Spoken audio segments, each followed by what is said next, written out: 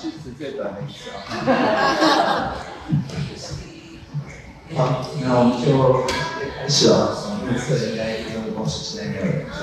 我知道在哪里。呃，我们接下来这六十分钟里面，就是欢迎大家扫码扣，如果扫不到 QR code 的话，可以输入呃 slido.com，它是一个网站，然后在网站上面输入零一零二零，然后不用输入。那不管是呃在这个网站，或者是在 QR code 的部分，我们就会进入一个匿名的提问的一个平台。那这个提问平台有两个特色，一个是说它可以为彼此的问问题按赞，那按赞数量比较高的就会直接跑到上面，像现在我们可以看到已经有二十四位关心 FinTech 的朋友了啊。那第一个呢是用来做程序动力的，这是它的第二个特色，就是有人会说背景音乐好吵，然后马上一秒钟就关掉了，可见这个情这个是非常非常有意义，而且呃通常有人就会在这上面开始去呃聊天啊，刚才已经看到很多脑部相关的一些话题啊，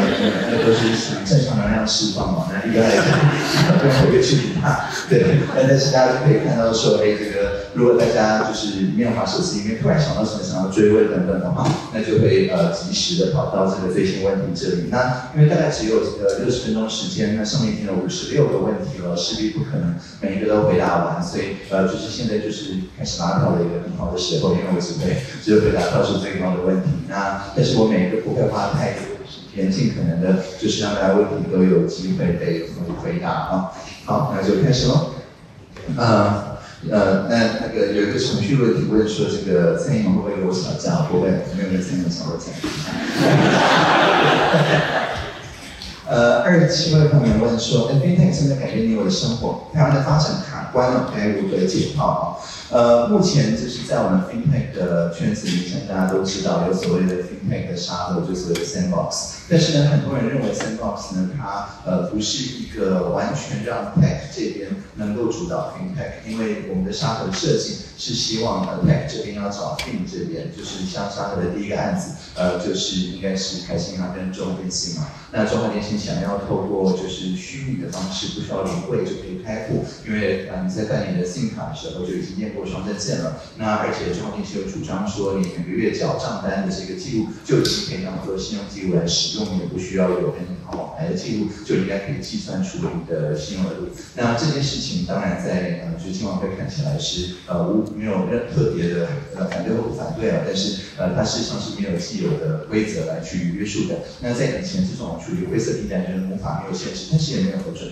的这个东西，就会让很多的新创业者付出非常高的成本去试探这个法森的界限。那但是呃后来中间就找到呃应该是凯基嘛，然后就说让我们就去找一些朋友们，那这群朋友们呢，呃等于就是在一个沙盒里面，大家知道说，哎这边是可能就是试用之后，如果呃不管你用起来觉得好或者不好，那都可以直接跟你网友讲。那如果到最后整个社会都觉得不好的话，那我们就感谢投资人帮我们付的学费，所有人都赚到钱。那但是呢，如果这个东西大家觉得好的话，那我们就把它合法化。那目前现在这个做法也已经合法化了，是呃，是沙盒算是很成功的一个案例。所以简单来讲就是说，如果你是一个新创的 FinTech 公司从 Tech 这边进来的话，确实会觉得说，台湾目前的 FinTech 好像你非找到一家银行去合作，或至少呃，就是当你在上海里面去试了一阵子之后，准备要毕业的时候，还是会需要跟呃一家银行合作。那呃，传统上面对这些的批评就是说，银行不了解纯数啊等等。那那当然，现在我们也已经有纯网银了，所以也很难再用这个二度。那呃，所以最新的一个 argument 就是说。那但是银行就是我不知道怎么样跟他们去谈哦。那这件事情也是呃，就今晚会透过 FinTech Lab 啊等等的方式，呃，像我那个礼拜大家可能知道那个 Ben 三在亚瑞斯分局的九号设计实验中心，呃，任何对这些 Sandbox，不管是在金融的、五 G 的、自家车的这边什么有兴趣来找我聊天的人，我会尽可能帮你解决这个中间卡关出现的问题。那所以在这里面，我们就有一个所谓的 General Purpose Sandbox，就是说当你还不是很确定你要挑战哪一个具体的法规或者是法律的时候，可以先到 General Purpose Sandbox，就是 sandbox 点 org 点 tw 来试试看。那在里面，如果就是你对于呃组织化、自动法的部分，其实不是你要挑战，是演算法的部分是你要挑战的。举例来讲，我们像说最近就有一个想要用护照来当做身份识别的一家新创公司。那因为我们在外交部呃就是护照是出入境的时候是蛮应用的嘛，并不知道说它还可以用来做呃国内的身份定是使用，但是也没有不准，所以像这种东西就很难说是金融，虽然它的用途当然有些是金融的，但这一部分就是由我们办公室呃帮忙去协调，包含像自然出啊或者外交部等等，所以在这一部分的话，也可以考虑到 sendbox 的 knowledge 点 tw，或者直接就是在呃礼拜三来收听一些录音找我，或者直接写一个 email 给我，大概是这样子的回答。呃，有二十八位朋友们问说，请问我是什么发现自己的天赋跟擅长的领域哦？呃，很简单，就是靠大家问我问题了。就大家问我问题，我回答出来，我就知道我对这方面很擅长。大家问问题，我如果回答不出来，我就觉得说啊，这个不是我擅长领域，过去赶快问一下行政院相关的朋友们，然后我就又有可以学习的地方。简单来讲，就是呃，每次我被问到的时候，我就可以多练习一个领域。好比像说，我记得呃两年多前吧，就是我去美国演讲的时候，有一些在西谷的台湾人问我说，哎。台湾的这个 AI 啊，有没有什么发展的计划？有没有什么呃国家级的这种战略啊，什么之类？然后呢，我就当场呢在这边 Google 啊，就是 AI 台湾，然后按 Enter。那在当时呢，是前几个都没有的，然后只有一个学会啊，Public Group 啊。呃，M 券的新闻稿啊，什么之类之类，就是从外面看起来完全不知道说台湾的 AI 产品到底是什么。然后我就觉得说，哎，被问到，那所以我就马上回去，就是跟这个相关的朋友们进行讨论之后，那呃，接下来我就没有被问到，所以就变成我们线上回答的东西，我们就弄一个新的网站，就是 AI 点台湾点 gov 点 tw。那这个网站在刚架设的第二天，就在呃，你如果搜寻 AI 台湾，就会排名到第一名啊，因为 SEO 你就是社群级最佳化，可能对这个网域评这个网域就是 AI 跟台湾嘛，那所以就是呃进去这个网页之后，它就会去综合各个不同跨部会跟跨地方政府的 vision 啊、plan 啊等等，就有一个一站式的方法，让大家一目了然，就可以了解说我们到底要怎么样子去发展 AI。所以我就呃多了一个擅长的领域。所以简单来讲，就是呃，我想我并不是特别就是对任何一个领域，好像说非要呃钻研到一个程度不可，而是看现在这个社会上面对这个领域所需要的呃。呃，询问是什么？然后如果我能够回答的话，我就回答；如果不能够回答的话，我可以至少就是回到行政院里面找到呃懂这个的朋友，然后跟他讨论一下，说我们怎么样把他脑里所懂的这个东西，让大家呃就是听懂看得懂，或者甚至觉得好玩的这个做法，呃把它分享出来。那分享出来之后，呃我就又这个可以多分享一件事情啊。所以这个大概也不是什么天赋了，这个就是一种沟通的习惯，就是一个呃就是以知识来讲，书到用时随便讲。一个习惯，然后跟这个在往内部沟通的时候，就是一个呃，就是我不行，那就问到底谁行啊？你请你来这样子的一种习惯。那所以这个大概就是呃我擅长的领域，但是并不是特别的领域，而是这种跨领域沟通的一种能力。有二十二位朋友们想要问说，行政院地区化的社会国家发展计划，我认为在发展服务型智慧政府的时候，目前除了 AI 智能化之外，那哪些创新案例都在台湾公司发展？另外，台湾是不是有机会通过平台经验或者科技龙头的科技优势技术来发展全球标杆的社会政府啊？确实是可以的。呃，我们在国际上面今年呃，我们主要分享两个创新案例，就是我们所谓的就是 conquer pandemic，呃，with no lockdown，跟 conquer infodemic with no takedown，就是说我们可以把生物的疫情控制住，但是不需要呃封锁，不需要封城啊。那我们又可以把这个新闻的疫情啊，就是所谓的假讯息的危害 disinformation，呃，这个东西把它控制住，但是却不需要呃用行政的力量去让任何东西下架，不至于去侵害到新闻的自由跟言论的自由。那所以呃。这个是我觉得我们在就是我们叫 governance，不一定是政府啊，治理的这个领域上面，这两个现在可以是叫做台湾 model。那这两个共同的一个特点就是说，呃，我们并没有用讨样的方式去说，王指挥中什么都懂啊，或者是然后什么都懂，绝对不可能。我上一题才讲了，我大概什么都不懂，是我去问大家，然后用沟通的方法想让大家搞懂。那但是呢，快速的这个 iteration 就迭代就非常的重要。那像呃在比较严峻的时候，大家都知道说，只要打个电话给九二二，那是问到宝嘛，就是任何人就是对于防疫的措施有什么想法，时候一九二二永远都会呃编辑来告诉你。但是如果你把问到，好比像说呃这个我这边只有这个配送粉红口罩，我不想再去上学怎么办？那九二二就回答不出来，回答不出来之后就会一路上升到指挥中心，所以隔天所有人都会戴这个粉红口罩开记者会，然后就没有什么怎么办的问题了，因为就变成最炫的一种口罩颜色。那所以像这样子的一种做。法就是靠社会上面大家关心这个共同话题的人自己来想办法解决，但是只要想出一个好的解决方案，不管是口罩地图，或者是说有一些朋友自己在呃，就是我们的总统大选前去发起了，就是把总统候选人所讲的每一句话，在呃就是发表会或者辩论会上每个句话都去做事实的查核啊等等这个做法。那我们呢是绝对不会去干扰，或者是不会去呃就是把它视为国有，但是我们会去做什么去 empower，就是去增幅它啊，就去呃确保说，哎这些不管做市场的朋友们，或者是自己想要新的 idea 的朋友们，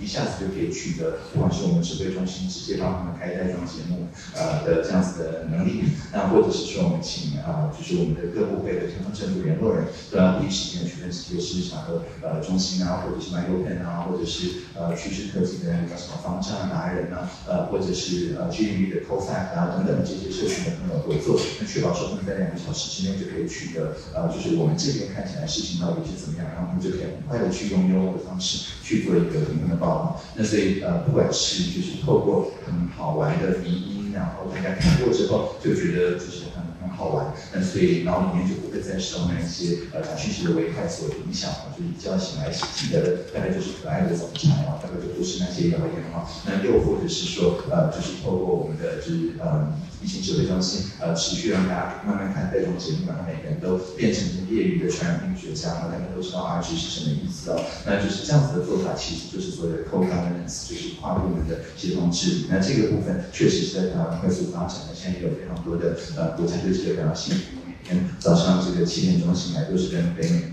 南美呃在分享这个经验。那睡前就是晚上可能有时候七点到，像昨天到九点多嘛，都在跟德国的呃一些国会议员嘛，开了一个类似公听会这样子，然后也是想要学习这方面的经验。所以我想，这个虽然还没有到所谓全球标杆的程度啊，但是全球都觉得说，哎，竟然可以说不牺牲人权、不牺牲民主，又可以照顾到经济，又可以照顾到防疫，那这件事情确实是呃大家愿意学习的一件事情。那在这里面，当然就是我们就是及时的能够去呃变化出各种不同的 innovation 啊，这个是非常重要。所以我想，社会创新的这一部分是。包括这边讲的台积电啊等等这些朋友的基础上，那我们在像合作地图案例里面一百多个案例里面，很多作者也是在这些呃大的公司工作，但他们就是用自己的呃课余时间、业余时间呃去参加这样子的一种创新，所以我觉得这是蛮好的。我是不是应该换成一个有线麦克风啊？所有认识的无线网络工程师都用有线网络来做事。OK，好，果然有深就好很多。嗯，好，那我们就开始了。三三十四个朋友们继续，有一位张翔呃同学的问题问说，我们都知道中国证明所有民事产业万事万个热权和去对之光的如何相应？请问对十六岁就已经创业人而言，社会利益中要什么不可或缺的缺点或缺的选项是什么？呃，以及呃，我认为在社会上面生存，的大学生应该具备什么不可或缺的缺点哦？应应该是那个豁然率的多嘛？那那呃，我我想最最重要就是，嗯，就是呃不怕留言嘛，就是就算有错字，也这个可以公开的贴出来，然后呃，因为缺口就是光的入口嘛，所以如果你就是投一篇文章完全没有错字，那别人除了按赞和帮忙之外，就不知道怎么跟你互动。但你如果故意留两个错字啊的话，那这样子的话。就是别人就会觉得说，哎，跟你很有话题，可以来找我一下你，就可以聊开了。所以，我觉得就是说面子问题啊，是最大的问题。那呃，所谓面子问题的意思就是说，你完成度不到几十零九九趴，你是不会跟别人分享的。那这样子的话，所谓出了社会之后，如果有这样子完美主义的呃倾向的话，那其实就很难去跟别人有一种共同创作的一种关系。所以，呃，我觉得在社会上面生存最重要的就是呃公开的犯错，然后这个呃别人指出你的错误的时候，你就。说啊，那你请你来啊，然后一瞬间就会变成很好的朋友。因为我们在网络上面，你抛一个问题，然后希望大家来批评指教，大家没有人理你。但你如果抛了一个问题，然后换一个账号抛一个错误的答案啊，所有人都跑来批评指教，然后你现在就可以交到很多很棒的朋友，就叫欢迎喊定律啊。所以这个是非常重要的，那希望大家都能够就是没有面子问题啊。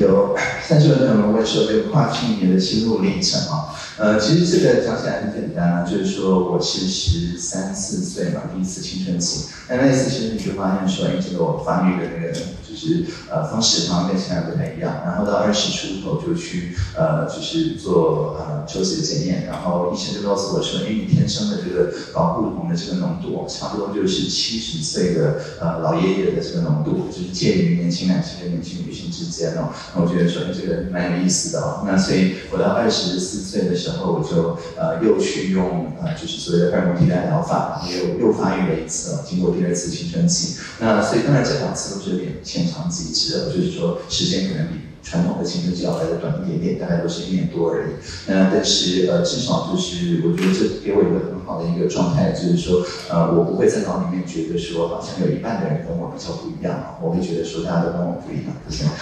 就是，就是觉得说呃，不会说好像分成，就是说我们这一群他们那一群这样的一个状况，大家都是入席子孙嘛。那所以这样子的情况下，我觉得对于我在呃所谓选美一点展 take all the sites 这样子刚刚讲的这种呃跨。不同的领域的这样子的沟通工作，我觉得是蛮有帮助的，大概是这样子。那呃，因为有一个追问，我觉得很有意思，而且很切题，所以先呃这个回答一下，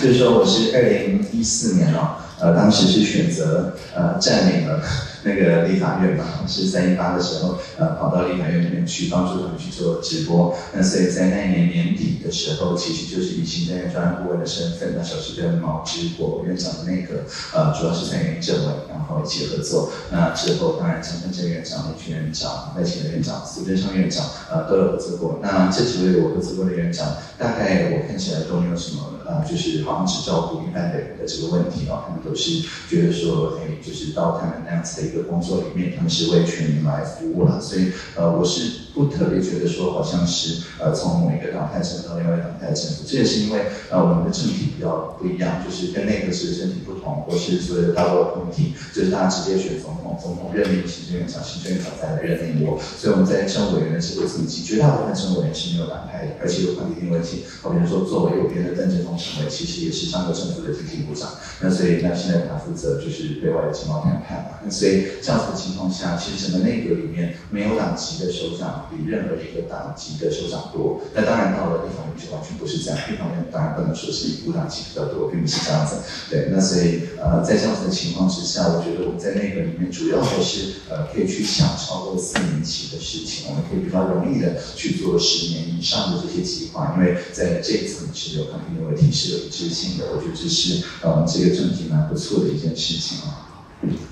呃，有位忧心忡忡的教师跟二十八位快乐的小伙伴想要问说，呃，台湾对于人文社会这个教育环境应该要怎么样子改善啊，才能够有效培育治国的这种文组的人才啊？那我我是觉得大概有两个，啊一个是说，呃，越早呃介入。社会越早参与社会，我觉得是越好。那当然，现在大家都了解到说，就是高校生根嘛，然后大学社会责任嘛、预算嘛等等非常多的方式，呃，来直接在呃就是大学甚至一年级的时候就介入社会哦。那不过，因为我们之前是在美国教课当课发会的委员嘛，所以我的主张更激进一点。我觉得高中的时候就应该介入社会，然后就不应该念大学哦。不过我现在在大学也是假装自己非常乖乖的，对，我没有表现说，呃，我们当时确实这样的想法，因为我们是把大学。选修啊，社会责任啊，甚至创新创业啊，全部都往高中端移动。那所以在高中端，大家是试过几个 cast on 发掘，已经对这个社会有具体的贡献之后，其实我们当时的想法就是说，那你高中毕业你就已经是成年了，你就可以自己去选择你参与社会的方法。但当你参与社会可能两年、三年之后，你发现说，你需要一些学术的养分，需要一些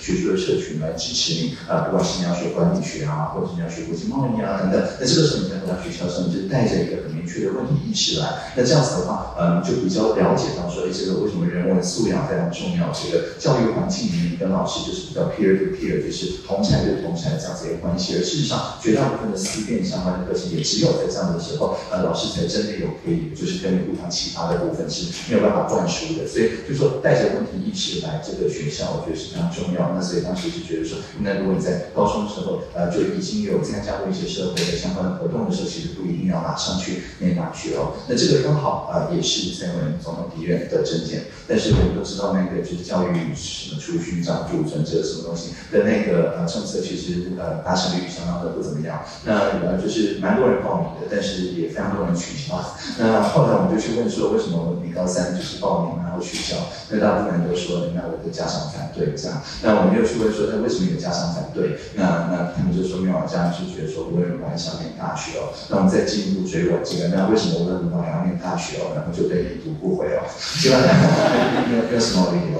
就是觉得要应该念大学才对。对，那所以呃，这个我想是一个比较人生地故的事情啊。不过我们在呃，就是现在的这个会期，我们也已经就是在行政院会通过了，呃，就是全面成年下修到十八岁的这样子一组法案。所以呃，除了就是投票之外，不用修宪的。那所以呃，就是立法院只要能够通过这系列法案的话，那我觉得这个 power balance 会改变嘛，就是说十八岁的朋友们自己决定说，我要先 gap year，我要先呃出国，或者是要先到那一阵子等等。那以前是呃，就是爸妈没有签字的话，其实什么都是白讲。但在现在就是是十八岁你自己签字就可以了。那所以这样子的话，我觉得才回到学校的时候才比较是带着呃所谓 talent 人才，而不是只是呃就是 workers 啊。虽然就是 workers 也没什么不好，但是呃我觉得一直觉得大学是应该就是把呃就是工作的人在工作的过程里面归纳出的一些自己的经验，透过呃可能分享啊或者是发表啊等等的方式，把它提炼到一个就是大家都可以有所学习，就是创新者啊，innovator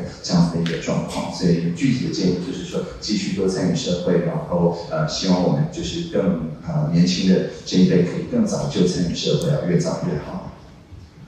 嗯，有呃三十二位朋友想要问说，为什么讲话速度可以这么快啊？以及怎么样整理自己的思绪啊？嗯，其实我是已经放慢了。那我是在就是标点符号的时候是会故意停的久一点点，但是你可能感觉起来我都没有在换气，因为可能就是你在我标点符号的时候，就是逗号的时候还在消化我刚刚讲的那一句话，那所以就是主观的时间过得比较快。但事实上在那个中间我是有换气的，所以其实其实在逗号跟逗号之间比较快，每一个逗号我都是有稍微停一下，然后去想。说接下来要怎么讲啊？那所以怎么整理自己的思绪，主要就是两个方法。一个是说，我会看到一个题目的时候，我尽量不会选项很武断的觉得说，他应该用什么方式来解决我，会有什么解决的想法？我会先发散一下，去想说，哎，这个我有脑里有各种各种不同的角度，每一个角度都可以用不同的方式来探索这个题目。所以一开始是发散，那发散之后，你慢慢就会熟练去想说，哎，我可以从各种不同的角度来看这件事情，但它有一个共同的价值吧？好比像说，像这个。就是如何整理自己的思绪。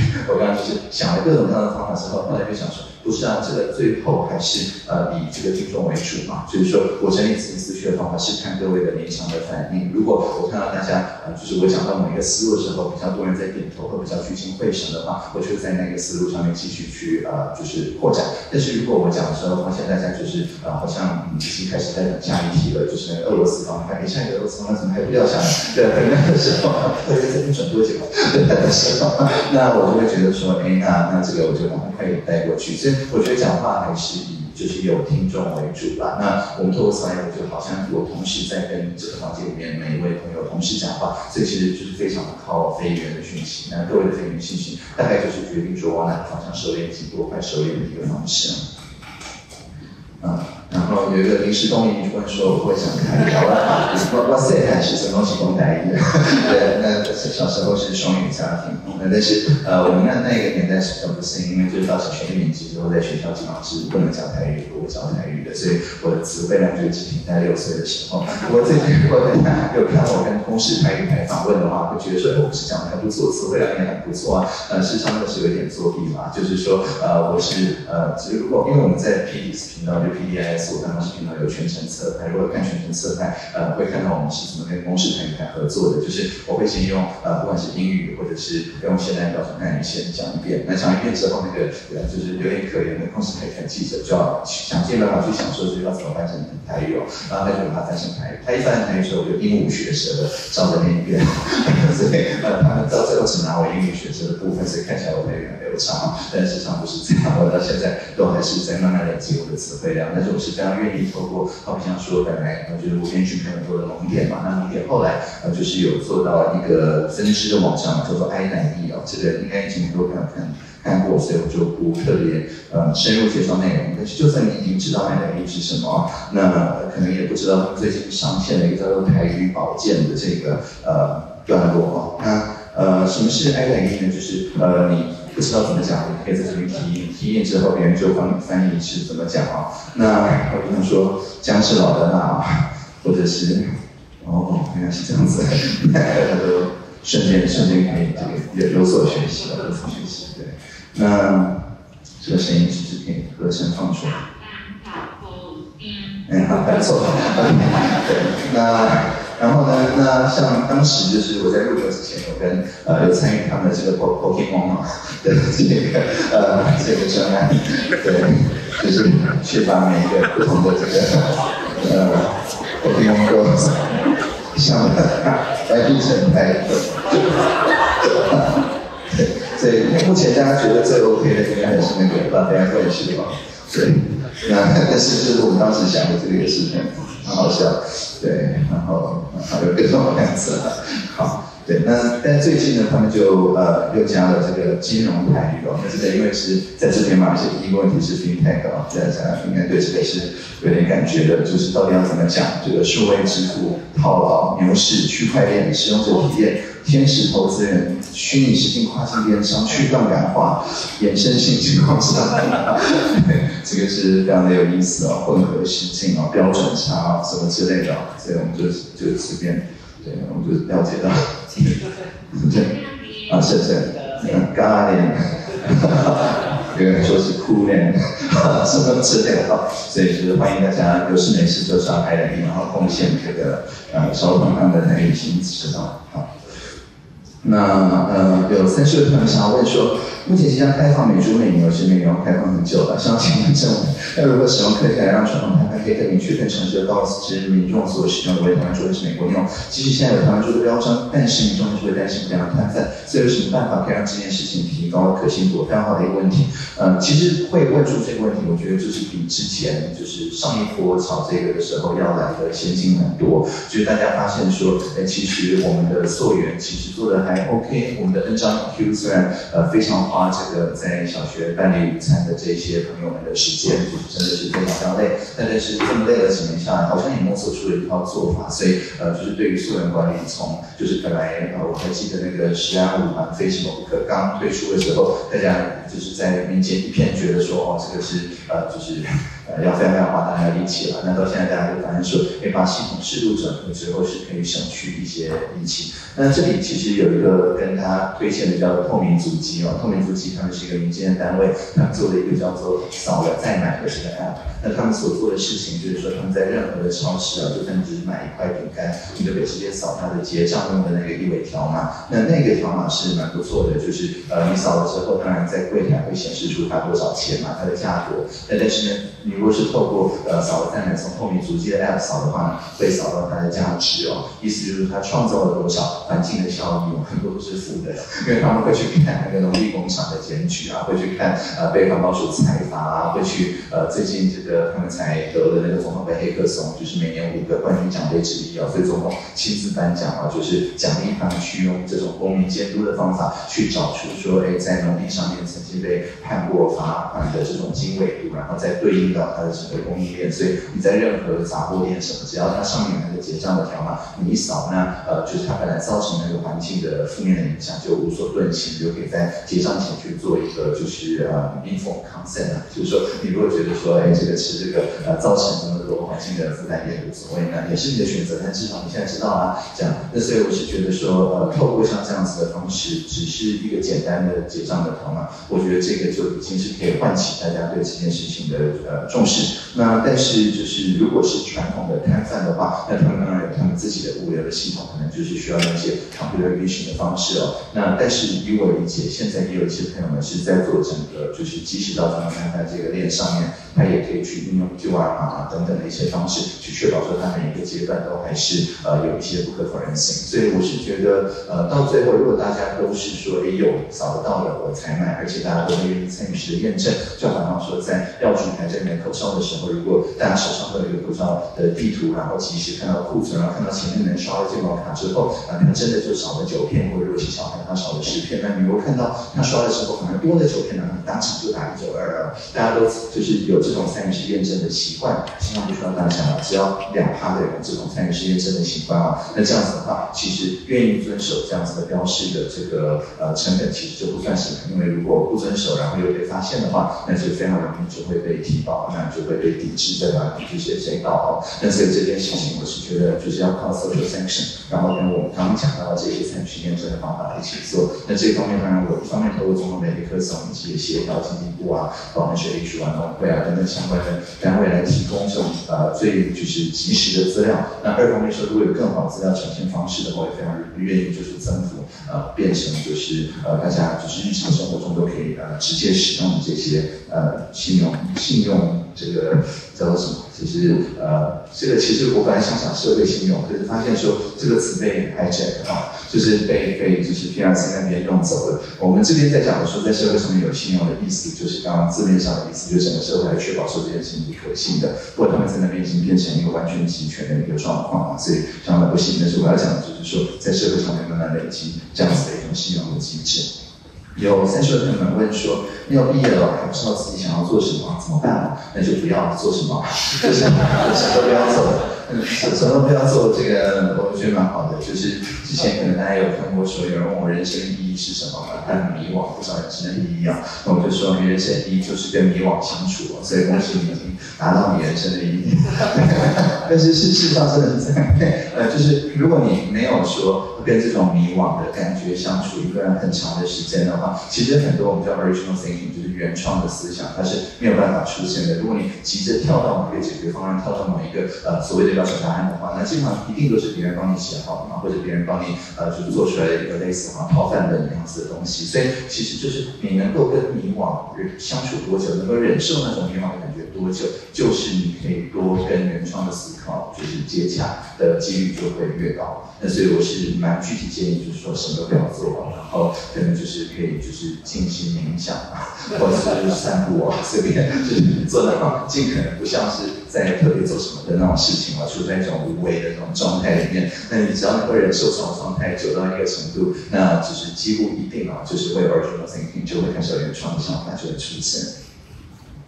呃，有二十七位朋友想要问说，呃，五 G 的时代已经来临了，请问认为台湾软体设施是不是已经能够很好的应用这项发展？那么在哪些方面能够做得更好来应用这项发展？以及偏向权利是不是应该更被重视？包含我使用一些硬体设施等等，以改善长久以来都是与上下累积各种不对等，特别是在科技的使用上，我完全同意这个想法。我们的五 G 的故事就是有一个呃口号，叫做越偏向越先进。那那这个口号为什么不会只是沦为口号？就是因为我们在设计五 G 的竞标的时候，设计这个呃这叫什么 auction design，就是呃设计出竞标的方法，能够呃就是逼着所有的电信都呃就是多付很多钱，所以我们到最后就多了一笔可以自由运用的标金去使用。那但是这个是专款专用，就是特别让呃在四 G 的时代或者是在固网的时代，实际上就是因为可能在那边做生意比较难赚回去这些钱，所以呃这些就是电信商就。不太愿意去增进那边的设备，尤其是呃对现实的部分，就是下下载可能它，因为我们现在宽频人群嘛，至少要十个 megabit per second，所以现在各个电信大概都有到十二个 megabit per second 没有问题哦。但是上传的话，常常有的时候就是在比较偏远的地方，就是只有呃可能一 megabit per second，两个 megabit per second，那这个其实是。很不利的，因为这样子的话，就是变成好像是电视跟广播一样，因为它不对称嘛，就是变成大部分人就只能在那样子的地方只能收取资讯了，那就比较难分享出资讯。就是当他开直播的时候，就会一直卡卡的。那这个时候他就只是呃，就是媒体的阅听者，但是就不是媒体的产制者。那但是我们要怎么样子达到阅听能力前进？当然就是需要说在那边工作的人能够第一时间把他实际的状况，不管环境的状况，还是呃像这个他如果是一大。大片农地的，然后无人机农喷啊等等这些新的应用，能够及时的、精确的传递到就是任何他想要协作的伙伴嘛。所以上传平台就是一件非常重要的事情。所以我们接下来在就是前山二点零里面，呃，我们花了很多的时间去设计说，呃，我们可以让这些各大电信把他们才刚刚付的那个标签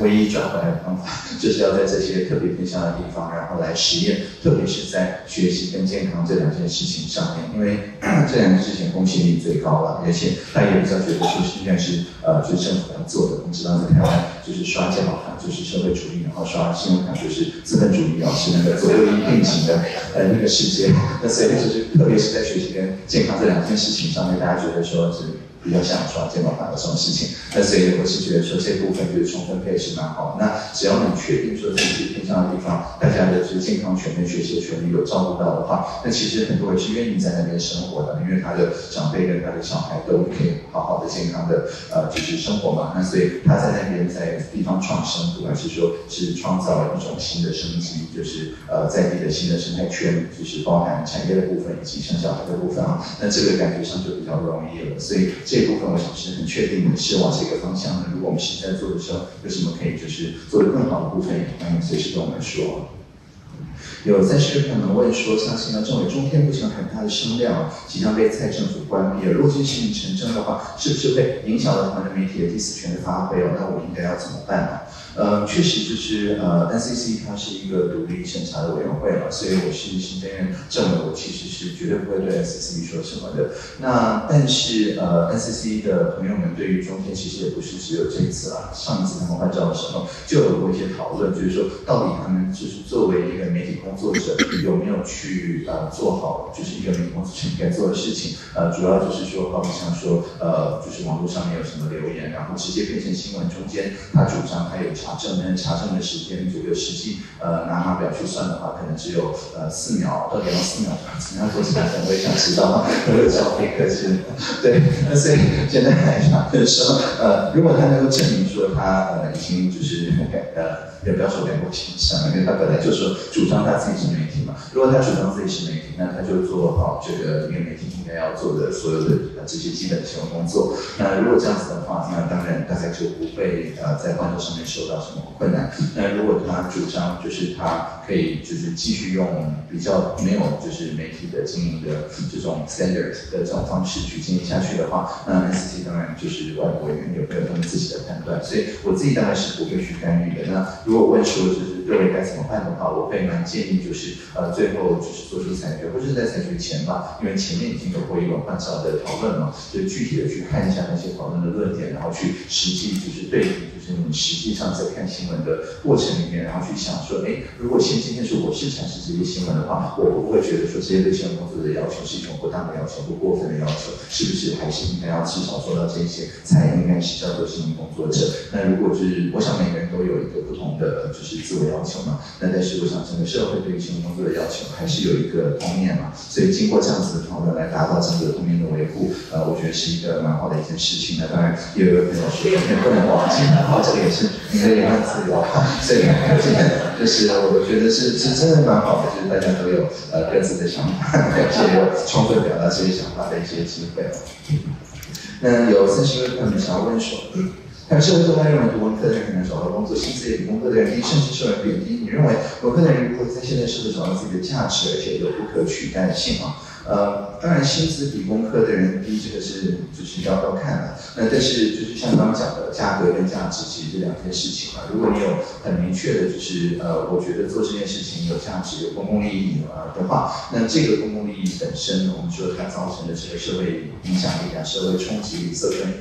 等等，那这个本身就是有它的不可取代性。因为当你说你的薪资是好像说每个月呃十五万嘛，随便很流行呃的时候，那就是那那。这个意思也就是说，别人只要出二十六万、二十七万，那你就可以为别的目的而工作，就不会为现在的目的而工作。它后面是有点隐含着这个意思，就是呃，人跟自己的工作的内容有点异化的这种关系哦。那所以我是觉得说，我不会特别觉得呃要用什么方式来标定啊。像最近那个内政部小编的那个梗啊，就是说呃三万就是用脸盆洗手啊，二十万就是用金盆洗手啊。但是到最后就是然后防疫就是要洗手，洗手最后结果。是一样的，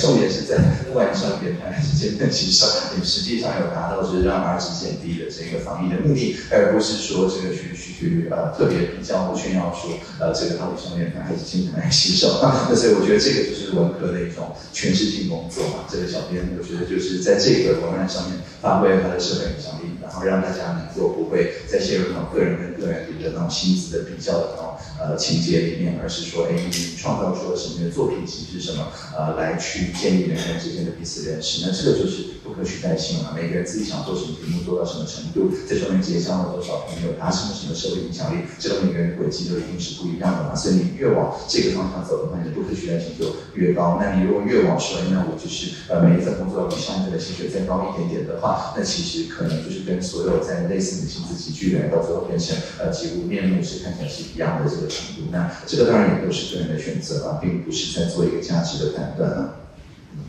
那有在座的朋友们想问说，哎，对于现在紧张的两岸关系，呃，这里讲的应该是就是台湾海峡两岸嘛，应该不是呃太平洋两岸、太平洋两岸关系。呃，对，像是前几天发生的中共外交官谈事件嘛，呃，有没有什么看法，或者能不能够以科技啊和平的解决这种纷争哦？意意思是说我们以后都远距办会议嘛，远距办会议，就是没有桌子可以翻，这方面不错。对，确实有点像说昨天在那个德国国会嘛。对不对，中间也没有接受到任何打扰，因为就是点对点加密嘛，到底要怎么打扰我也不知道。对，那所以呃，当然就是我像之前就是我去呃日内瓦那个联合国嘛，然后去呃用一个就是机器人走来走去的那个机器人去进行分享。那分享的时候，当然也受到就是当时外呃就是应该是中共驻联合国那个地方联合国欧洲总部的一个常任的一个外交官呃举手抗议嘛。那但他的抗议其实后来主席是说没有道理。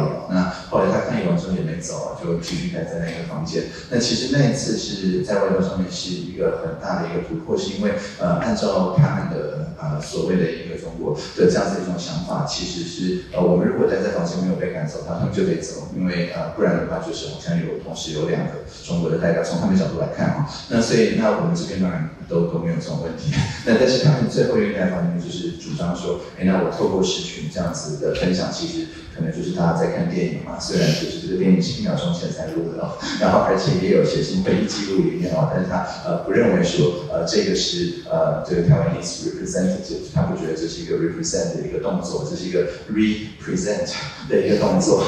但是只是重新投影而已嘛，所以这个机器人并没有代表我，这个安全也没有代表我，对，那所以呃我是觉得蛮好的，就是说我们现在从今年像 WHA 呃前几天嘛，我自己在卫生部也办了一个十四个国家跟经济体的呃卫生官员。的这种类似会前会的这样一种大会，那同样的也没有就是 representation 问题啊，只有 representation，就大家呃不断的就是呃在自己家里，我当时看到非常多卫生官员家里的那种字画啊，还有他们小孩啊什么之类，就是有这种合作无间的感觉。对，那在这样的情况之下，就是大家都觉得说，哎，这个比见面三分情还要好啊，因为见面要戴口罩，其实只有两分情。那视讯因为这个频繁。OK 嘛，所以就是感觉上的这些三分情。那这样子的情况下，整个外交的能见度提升之外，其实我们大家就会 focus 那个实质的东西上，而不是说，哎，谁坐在主席台啊，谁坐在这个会员席啊，谁坐在 NGO、NPO 席啊，谁坐在观察员席啊，这种就是当然在实体之间很重要，但是在虚拟世界就每个人都是一个呃十六比九的小方形嘛，然后每个人自己要呃就是挥个国旗啊，或者拿名字的情况旁边加上国旗的 emoji 啊。说是没有人来管你哦，那这样子的情况下，其实就比较没有说传统上面那种就是一种联合的这种纷争的一种问题，所以确实科技是可以帮忙解决这个问题。那我们现在也在呃很多的国际场合运用这样的方式来处理啊。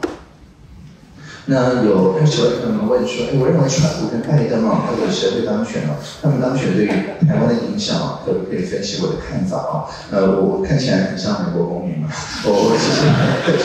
并并没有特别。觉得说这个就是呃谁一定会当选嘛？那呃目前我看呃就是一些民调相关的网站，好像就是说差不多等一个六面山嘛，就是如果闪到六的话，其中一个会当选；闪到一到五，另外一个会当选。目前大概是刚好六分之一、六分之五的这样子一个状况。可是大家如果想过六面闪，就知道说不管想到哪一个的几率都很不小。所以其实这是很难讲的一件事情啦。那但是不管谁当选，我觉得我们这一次，尤其是在印太地区，在国际上讲到这个空间，其实当然也很感谢美国，就是持续呃，就是帮助台湾去开拓这个空间。但是我们看到大部分智库的分析都是说，不管是台湾也好，纽西兰也好，澳洲也好等等，在印太的这种所谓 middle power，呃，不管是能见度或者是它尊敬的程度，其实绝大部分还是来自于我们抗议而没有牺牲经济或民主的这个事实上面所以呃，就是不管是川普或者是拜登，我想对这个事实都是认可，而且也是就是像相当最近的，所以我也呃从不管是两党的支部啊、国务院的朋友啊等等，都没有接收到一个讯号，说好像说呃，就是这两个候选人在这件事情上面有什么非常大的呃差异或非常大的不同，所以我想这件事情倒是还让人蛮。就是安慰的，就是说我们这一次这个 middle power 在国际上面的见度，并不特别是因为特定的党派或特定的总统的候选人的关系啊，所以是蛮好的。嗯，有三十位朋友问说，呃，请问为什么会选择或者答应来东海演讲呢？呃，当然是因为就是学生会邀请的，因为我是呃有回答这位这个动议的朋友们，呃，有人问我是中华民国的政务委员还是台湾的政务委员啊？呃，跟他报告我是行政院的政务委员。这个谢谢。这个我在国际上面都是这个，就是呃，executive 院嘛。Anyway，那总之就是呃，总之我担任行政政委员。呃的呃三个工作内容就是开放政府、社会创新跟青年参与。那青年参与的部分包含像青年署啊等等，呃其实就是在鼓励呃不分年龄大小，不管你是见习青年，就是还不到十八岁，或者资深青年，就是超过了三十五岁，呃就是任何知道，愿意用一种比较就是呃创新的一种态度呃来参与公共事务的话，那就是我的业务范围。所以像行政院的青年咨询委员会啊，各地方政府的青咨会啊，或者是各大学的。学生会啊等等，只要是青年处相关的业务，那也是我的业务。所以呃，只要是学生会啊邀请的，是基本上是绝对不会拒绝。那只是呃什么时候来的问题而已。怎么样？啊，不好意思，不好意思，是的，是系学会，但是也是一样啊，就是是组织嘛，就是说只要是学生组织，然后是呃来接头的这位朋友，看起来比较像是学生，比较不像是校长之类的。那这样子我就我就比较被答应了，并不是我歧视。校长而是我有很多与校长接触的机会，所以就是如果是呃就是系学会或者是呃其他的呃来接头的感觉上，让我能够一次接触到比较多的学生的这样的一种场合，那对我来讲这就是呃各位纳税啊或者没有纳税讲到纳税随便了，所以要我做的事情。那呃因为呃我们在呃就行政青年咨询委员会其实有一个概念，就是呃我们青年来。决定呃方向，决定向量啊。那我们老一辈的，因为我已经超过三十五岁，可以说老一辈的。老一辈的来提供能量。那所以呃，大部分的这种非常创新的点子，都是来自于呃不会特别觉得说呃事情应该要怎么样子做的朋友。那所以及时的，不管各位对于时事的一些反应啊，或者是说嗯像十八岁公民权啊，或者是呃甚至像有一位十六岁的这个朋友提案说要呃禁用一次性的这个塑料吸管啊，或者是说呃到底人权会公投啊，然后或者是呃其他的一些题目，大概都是很多年轻的朋友已经提出相当好的论述。那我们就是呃尽可能把这个论述变成在行政体系里面能够听得懂的语言，然后让这些年轻朋友来指导这个方向。像最近刚。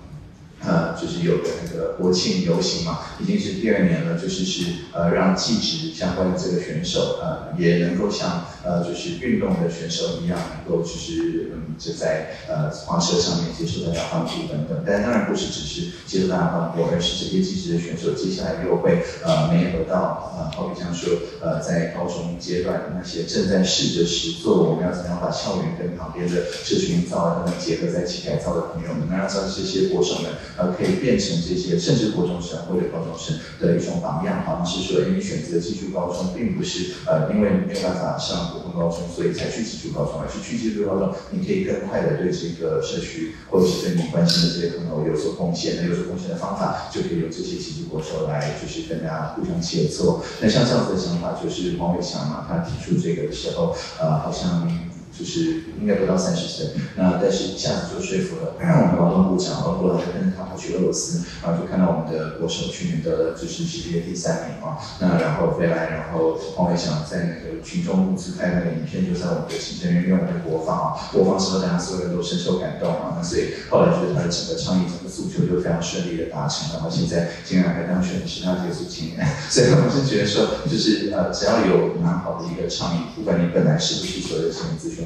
那在这样子的一个呃，就是回应的过程里面，我如果觉得说，哎，这个真的没有想过哎，那你请你来吧的话，那我们就可以直接把这个新的想法变成我们的公共政策的一部分。所以大家就是欢迎随时提问题，就算呃拉票就是不是很成功，但是我每个都会看过。那如果就是去真的觉得确实可行的话，那你也有留下你的联络方式的话，或者是至少这个嗯，就是有留下嗯，好吧，这个本来想说留下足以辨识你的名字，不会像选我拜托。我就是没有办法辨识是谁。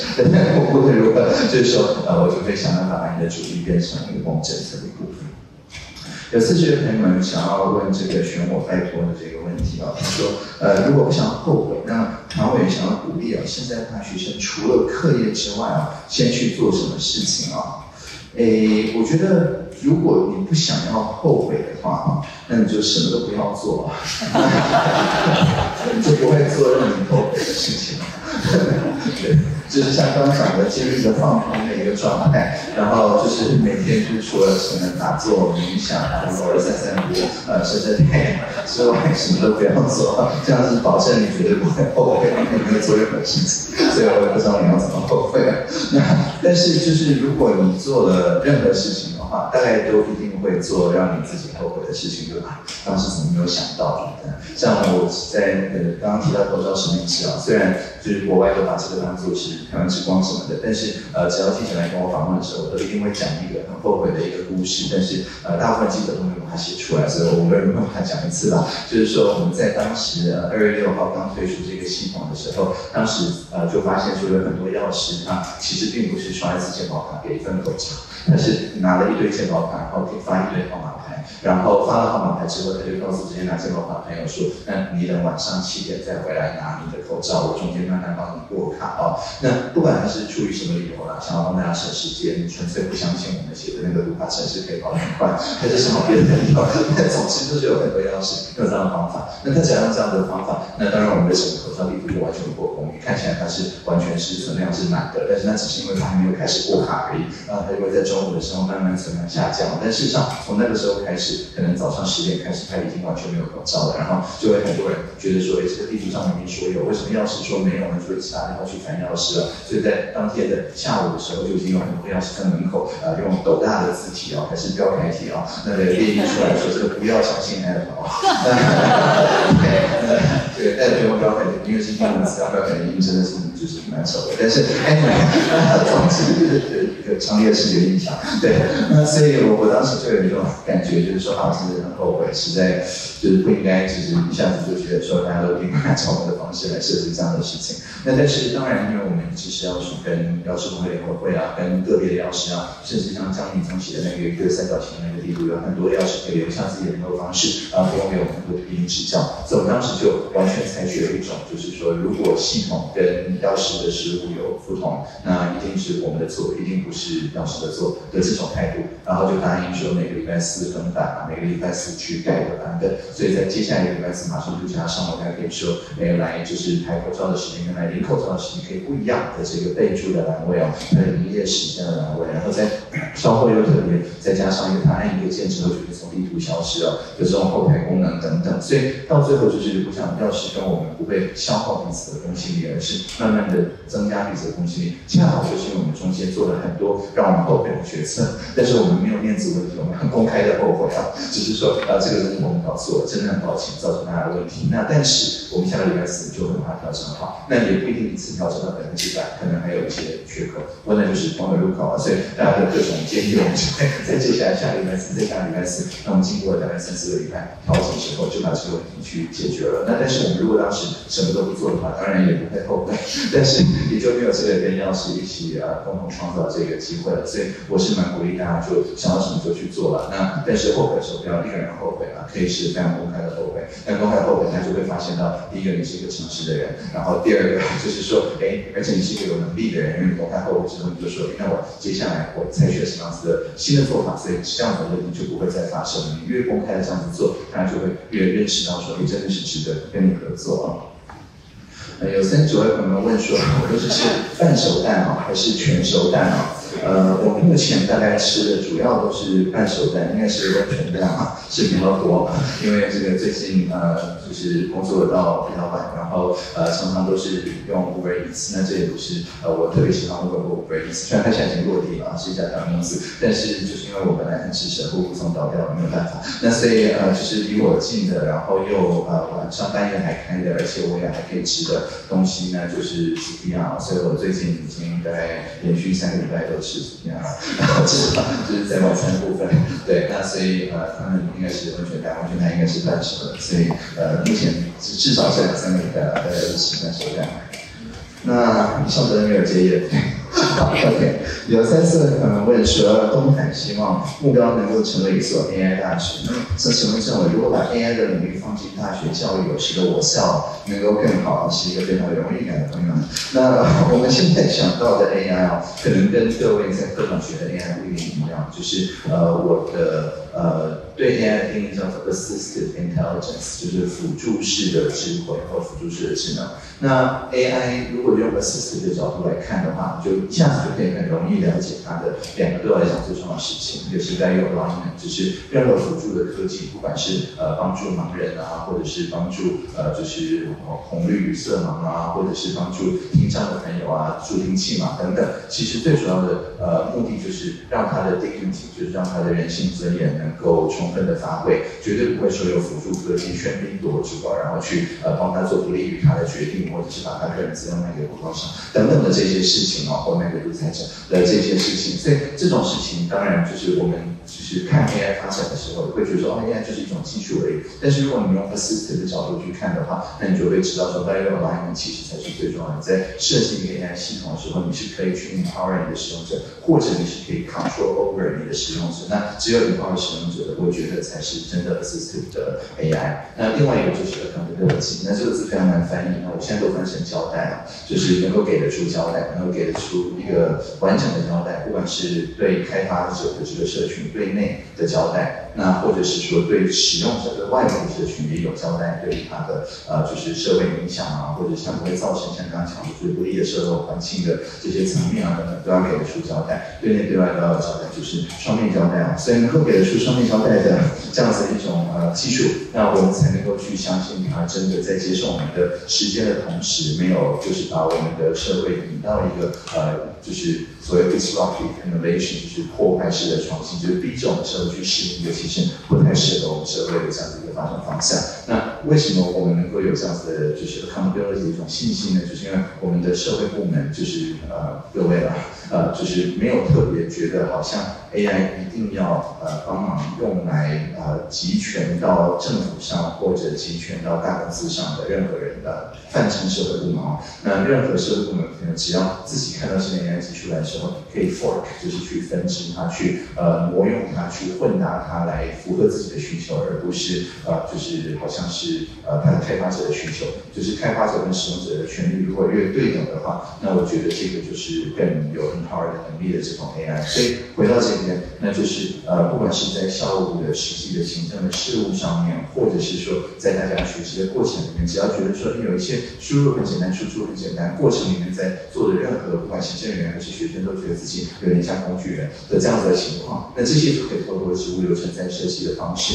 去试着把它自动化。但自动化过程里面就是要确保说它是 very aligned and accountable，就是随时大家觉得说，哎，这个做出来看到吗？不太对吧？的时候，就是有一个方法去让大家都可以去解释这件事情，而不是只有呃，就是他的呃。开发的这个团队啊，像个黑箱一样的不解释这件事情，所以大概只要就是保持这样子的传统，那就算是在校园中贩卖机什么的，这种就是传统，所以马上就会吵起来的题目啊。我觉得只要这个贩卖机它是开放源码、开放硬体，任何人都可以来解释，任何人都可以来提出修改。这个修改能不能进入这个贩卖机，也是透过一种民主的方式，说不定是呃新学会啊 等等的方式来进行讨论的话，那我觉得这个就比较没有问题。那如果是呃，少数一两个人就可以决定之后每一届人的权益的话，那这个问题就比较大，大概是这样子的方式回答啊。